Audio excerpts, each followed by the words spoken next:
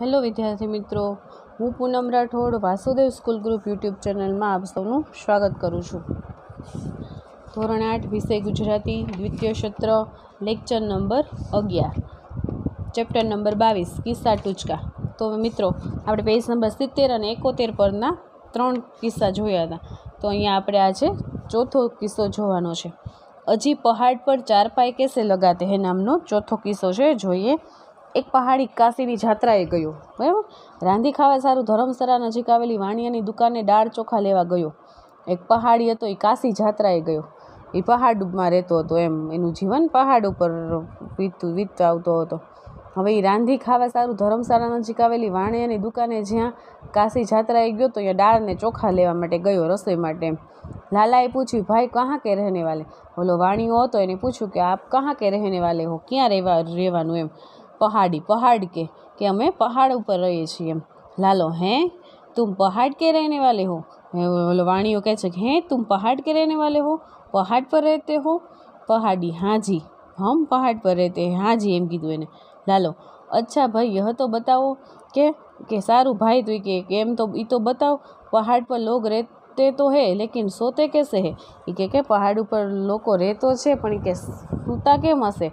પહાડ પર ચાર પાય કેસે લગાતે હે? ચાર પાય એટલે ખાટલો. કે પહાડ પર એમ ખાટલો એ કે કેમ લગા, રાખતા હશે એમ? એને એમ કે પહાડ એટલે આમ ત્યાં કાંઈ સમથળ જગ્યા જ નહીં હોય સમતલ બરાબર? કે પહાડ એટલે આમ પહાડ જેવું છે ધાર જ હશે એમ, એને એવું એમ. લાલાની મૂંઝવણ એમ કે પહાડ તો તંબુ જેવો હોય. હવે એને એમ કે પહાડ તો આમ તંબુ જેવો જોઈએ એમ, ત્યાં સમ, સમથળ કાંઈ જગ્યા નહીં હોય. તેના છાપરા ઉપર ખાટલો કેમ કરીને ઢાળતા હશે ને લોકો સૂતા કેમ કરીને હશે? કે એના કે છાપરા તેના છાપરા ઉપર કે ખાટલો કેમ ઢળાતો હશે ને લોકો સૂતા કેમ હશે પહેલો પહાડી લાલાની સામું જોયા જ કરે. ઓલો પહાડી કાંઈ બિચારો સમજો નહોતો. એ એમ કે, ઓલા લાલાની સામું એમ કે, જોવા જ માંડ્યું, ઓલા વાણિયાની સામું જોવા માંડ્યું. એને એમ એમ કે, પહાડ એટલે આમ ઢળતો જોઈશે એમ. ખાટલો ઢાળે તો એમ ખાટલો ઢળતો ઢળતો નીચે આવે. પણ એને નથી ખબર કે પહાડ ઉપર પણ સમથળ જગ્યા હોય છે એમ. આગળ જોઈએ પાંચમો કિસ્સો, દરવાજા બંધ કર નામનો. અલમો, આલમોરામાં પહેલી વહેલી બેંક નીકળી, બરાબર? પહેલાં વહેલાં જ્યારે બેંક ખુલી, બેંકનો મેનેજર પહાડી, બેંકનો મેનેજર હતો એ પહાડ ઉપર રહેવાવાળો હતો. એક અંગ્રેજને એનો કંઈક ચેક વટાવવો હશે. એક અંગ્રેજ હતો એને એનો ચેક વટાવવો હતો. તેની વાત કરવા બેંકના મેનેજર પાસે ગયો. મેનેજરે ખુરશી આપી. મેનેજર ઓલો પહાડી હતો. હવે એક અંગ્રેજ એની પાસે આવ્યો, એનું ચેક વટાવવા. તો તે, એની વાત કરવા બેંકના મેનેજર પાસે ગયો. તો મેનેજરે એને બેસવા માટે ખુરશી આપી. અંગ્રેજે વાત કરવા માંડી. ઓલો અંગ્રેજ આવ્યો તો એને વાત કરવા માંડી મેનેજર આરે ઢેર વાજા બેન્કર પહાડી મેનેજર સમજ્યો કે આને પૈસા માટે કંઈક ખાનગી વાત કરવી છે. તેથી બારણા બંધ કરવાનું કહે છે. ઓલાએ કીધું કે ઢેર વોઝ અ બેન્કર બરાબર?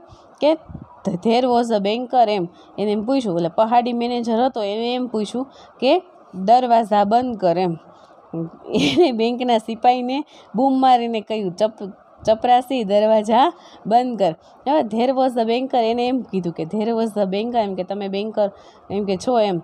તો ઓલો એમ સમજો કે, દરવાજા બંધ કર. એટલે એને સિપાહીને બૂમ પાડીને કહ્યું કે, ચપરાસી, દરવાજા બંધ કર. ચાલો. તો આપણે પાંચ કિસ્સા જોયા. હવે આપણે ટૂચકા જોવાના છે, બરાબર? બીજા પાર્ટમાં. પહેલો ટૂચકો છે. મનુ, તે ત્રણેય કેળા મનુ તે ત્રણેય કેરા બાબુની સાથે વેચીને ખાધા હતા ને? મનુને પૂછે કે, તારી પાસે ત્રણ કેરા હતા એ બાબુ સાથે વેચીને એમ કે ખાધા હતા ને? મમ્મી મમ્મી, ત્રણ કેળા વેચી શકાય તેમ નહોતા. કે ત્રણ કેળાને વેચી શકાય એમ નહોતા. હું ત્રણ કેરાને કે કેમ વેચું? એટલે પહેલાં મેં એક કેળું ખાઈ લીધું. પછી બાકીના બે રહ્યા તેમાંથી એક બાબુને આપ્યું અને એક મેં ખાધું, બરાબર? મનુ એના મમ્મીને કહે છે કે ત્રણ કેળાના ભાગ ન પડે, એટલે કે એક કેળું મેં પહેલાં ખાઈ લીધું. પછી કે બે વૈધા, એમાંથી અમે બે ભાગ પાડી લીધો હતો એમ એના મમ્મીને કહે છે. આગળ જોઈએ, પેજ નંબર તોતેર ઉપર. બીજો ટૂચકો. ગોવિંદ, આજે હું મારી છત્રી લેવી ભૂલી ગયો હતો. કહે છે કે હું આજે મારી છત્રી લઈ જાવી ભૂલી ગયો હતો ઓફિસે જતા ઘેર આવીને ગોવિંદે પોતાની પત્ની રમાને કહ્યું. બરાબર કે ઘરે આવીને એમ કે, એની પત્ની રમાને એને એમ કીધું કે, હું, આજે હું મારી છત્રી લેવી ભૂલી ગયો હતો. રમા, તે તમને આ વાતની ખબર ક્યારે પડી? એની પત્ની કહે છે કે, તો તમને એ વાતની ખબર ક્યારે પડી? યાદ ક્યારે આવ્યું? ગોવિંદ, જ્યારે વરસાદ બંધ પડી ગયો અને એને બંધ કરવા મેં હાથ ઉપર લંબાવ્યો ત્યારે. કે કે? જ્યારે વરસાદ બંધ પડી ગયો અને એને બંધ કરવા મેં હાથ લંબ, ઉપર લંબાવ્યો, ત્યારે મને ખબર પડી કે હું છત્રી ભૂલી ગયો છું.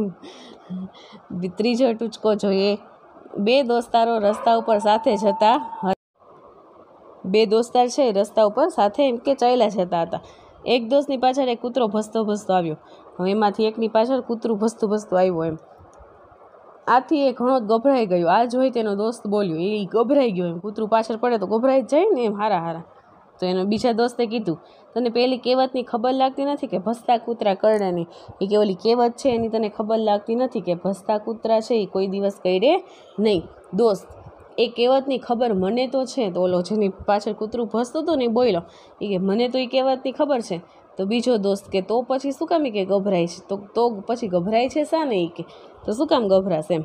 પેલો દોસ્ત પણ આ કૂતરાને કહેવતની ખબર ન હોય ને કે કૂતરાને તો વાતની ખબર નથી ને, કે ભસતા કૂતરા હોય કઈડે નહીં, એ કહેવતની કૂતરાને ખબર નથી કે એનો કાંઈ ભરોસો કરાય નહીં એ કઈડીએ જાય એમ. ચોથો ટૂચકો જોઈએ મોટી બહેને સોનલને એક પ્રશ્ન કર્યો. સોનલની બહેન હતી એને સોનલને પ્રશ્ન કર્યો. મોટી બહેન કહે છે, સોનલ, સૂર્ય ઉગે જ નહીં તો શું થાય? કે સુરત દાદા છે એ ઉગે જ નહીં તો શું થાય? એમ પ્રશ્ન પૂછે છે. સોનલ કહે છે, વીજળીનું બિલ ખૂબ જ આવે બહેન. કે વીજળીનું બિલ છે એ એમ કે, ખૂબ જ આવે બહેન. હવે એને એમ કાંઈ ખબર નથી કે સુરત દાદા ન ઉગવાથી વીજળીનું બિલ વધારે આવે કે ઓછું આવે એમ. એ એનો એવો મૂર્ખામી ભર્યો એનો જવાબ આપે છે. તો મિત્રો કિસ્સા અને ટૂચકામાં તમને બધાને મજા આવી ને બરાબર? અસ્તુ, જય હિન્દ.